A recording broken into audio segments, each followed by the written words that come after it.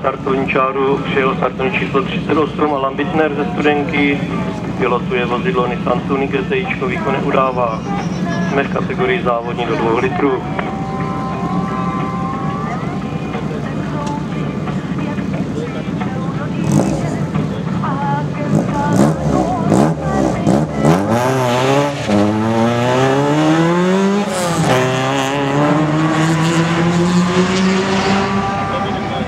Takže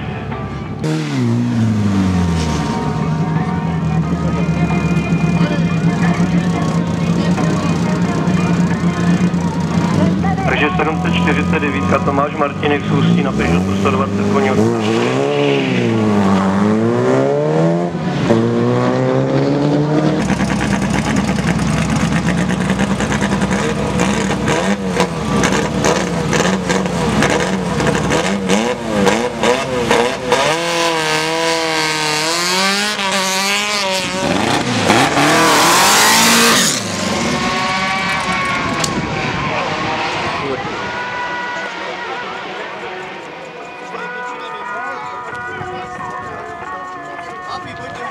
Možná pojďte drcnout do něho.